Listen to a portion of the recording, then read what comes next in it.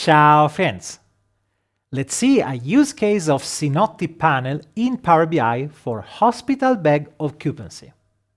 The staff of the hospital need to know quickly which beds are free or occupied. This is one of the rare cases where using direct query is a good idea. The report shows real-time data and can run on tablets without creating a custom application. Security and access are handled by Power BI, so it's simple to use anywhere in the hospital without requiring a large investment. And remember, we are using a relatively small amount of data that is only related to the beds that we want to display in real time. Let's take a look at the report for this use case, which is a relatively simple report because we have a single Synoptic panel visual with a single map that represents the floor plan of two buildings. You see that there are uh, different floors. The floor 8 is only available for the building B. And uh, for each floor, we have all the rooms uh, available and all the beds available in that, on that floor.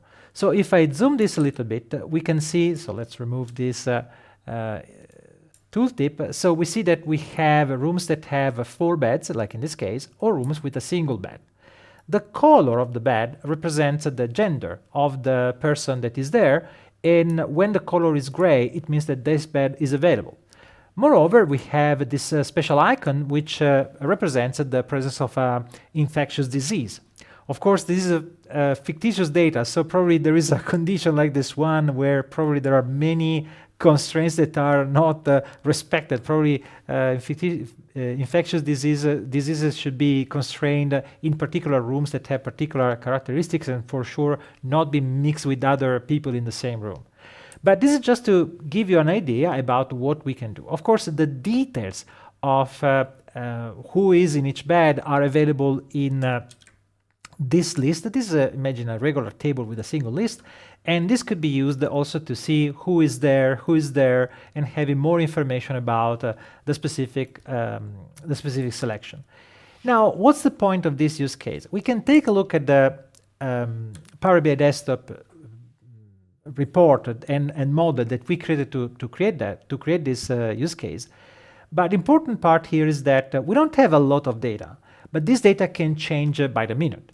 And so this is one of the cases where direct query, mapping directly the table or the tables through a view uh, of uh, the data that can contribute to create this report is very, very helpful because uh, at the end of the day, the same visualization that shows this uh, map, so we see the this is the definition of the map. We only have, in this case, two maps. One was created with PowerPoint and one with Figma. I will show you in the use case uh, a few details about uh, which tool to use to create the map.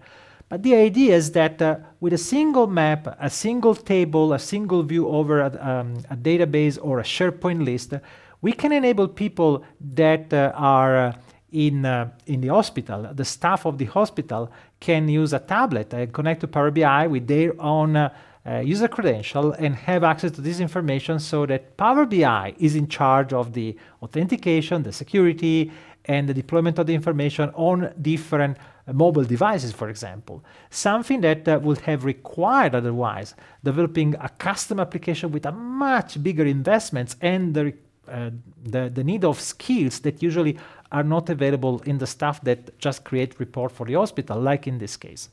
So if you are interested in knowing more about uh, this use case, take a look at the description of the use case on the OKVIZ website.